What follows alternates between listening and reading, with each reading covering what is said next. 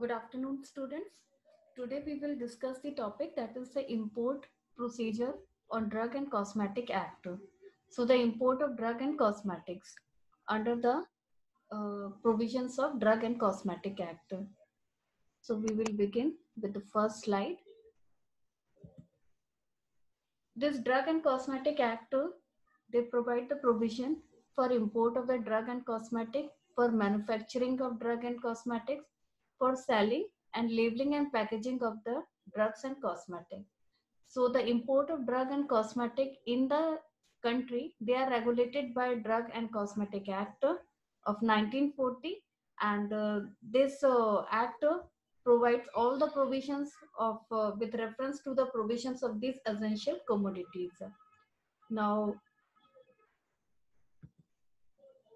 so we begin with the import. Now, there are the classes of drug which are prohibited to import and uh, also the import of drugs under license and drugs exempted from provision of import, then offenses and penalties. These are the basic pointer we will talk about in this lecture. So first one is the drug prohibited to import.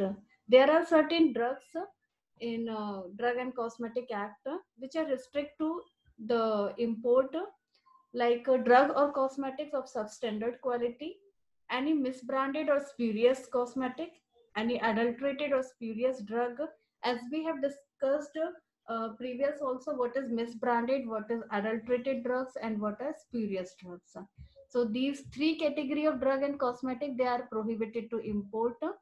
Any patent or proprietary medicine which has no description of true formula or the list of active ingredient included in them along with their quantities they are also prohibited to import then any drugs which purport or claim to cure or mitigate any disease or ailment in the form of the statement design or device accompanying it. Basically the drugs and cosmetic which come under the schedule j uh, schedule j is uh, categorized with the, the disease or ailments which are purports to claim of so uh, the drugs which purport to claim for Schedule J diseases or ailment, they are prohibited to import. Then any cosmetic which include the ingredient which is render uh, uh, make the final formulation unsafe or harmful for uh, for the consumer, then such pro uh, products, such uh, materials are also uh, prohibited to import. And drug and cosmetics for which are prohibited for under these provisions. Uh, they do not apply for the import of any drug in smaller proportion for examination, testing, analysis, or for personal use. Okay, so drugs which are subjected to the personal use, they are not prohibited. Then comes the import of drug under the license. So the uh, drugs which comes under the schedule C and C1 as we know that schedule c and c1 is consist of uh, the biological products uh, and uh, the blood products like vaccines sera immunoglobulins proteins peptides. So such drugs they are also import under the license then uh, drugs which are specified in schedule x that is narcotic and psychotropic substances. They are also imported under the under the license authority. Drugs which are uh, tested for analysis and uh, drug import uh, certain drugs are uh, imported for personal use also. And in new drugs they are also uh, uh, they are also imported under the license and uh, there are also the some uh, category of drugs uh, which are exempted from provision of import. Means certain if if the certain uh, country uh, if certain drugs which are banned in the particular country they uh, such drugs can't be imported in india as they are banned or prohibited or exempted in their particular country. Okay and uh, next is the offenses and penalties. If any contravention banned uh, regarding to the drug and cosmetic act. So now we move to the classes of drugs which are prohibited to import.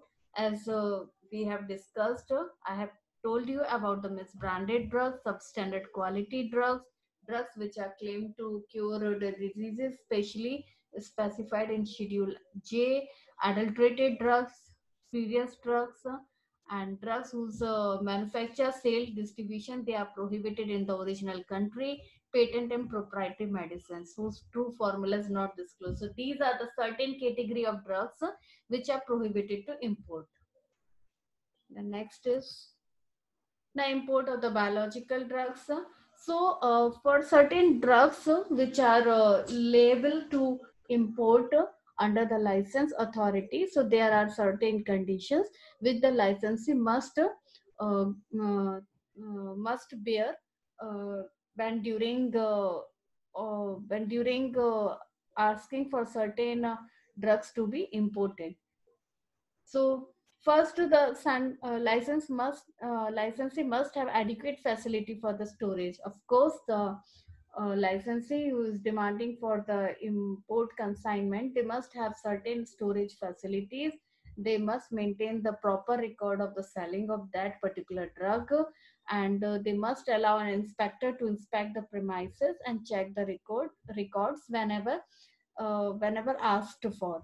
Licensee must furnish the samples to the authority whenever it's uh, uh, asked uh, asked them to do so and they also not sell the drugs from which sample is withdrawn means if the consignment they have received and that cons- and uh, small uh, amount of the samples a small number of samples from that consignment is under the testing then uh, licensee cannot uh, sell or cannot recall that uh, batch to the market. So the central government uh, also have certain power of provision. They prohibit uh, the certain drug and cosmetic if uh, they are not satisfied uh, the use of such drug and cosmetic which involve any risk to human being or animal and certain drugs which are having the low therapeutic value or mm, drug or cosmetic which include the ingredient in such quantity from which there is no therapeutic justification. So gov- central government generally prohibited certain uh, samples of the drug. Means uh, means in this procedure when the test after the analysis or testing of the drug, if your drug found to be of uh, containing certain uh, risk factors which are affect which are adversely affect the human being or animal or uh, they have certain uh, low value of therapeutic efficacy or if they are not uh, properly there the ingredients present in that particular drug does within the quantity, quantity does not give any therapeutic justification about mm, the presence in that formula then uh, certain consignments they are cancelled okay तो लाइसेंसी must give all these things लाइसेंसी को ये सारी proper चीजें manage करनी है और after testing of after testing analysis of sample जो चीज़ें मैंने आपको बताई कि अगर आपका ड्रग और कॉस्मेटिक किसी तरीके से एडवर्सली इफ़ेक्ट है, उसके अंदर कोई ऐसा इंग्रेडिएंट प्रेजेंट है जो थेरापेटिक एफिकेसी और पोटेंसी को इनहिबिट कर रहा है लो कर रहा है या फिर कुछ प्रॉपर जस्टिफिकेशन नहीं है उस पर्टिकुलर रॉ मटेरियल के आपके फॉर्मूला में प्रेजेंट होने के तो such consignment such drug and cosmetic they are generally prohibited और generally cancelled Then next is so import of certain schedule X drug also that is narcotic and psychotropic drugs. Uh, similarly, licensee must have adequate storage facility. Applicant must be reputable in the occupation. Means the applicant uh, do not uh, having any illegal uh, do not uh, do not involve in any illegal contraventions or any issues the licensee uh, license granted even before should not be suspended or cancelled. The license has not been convicted any offense, right?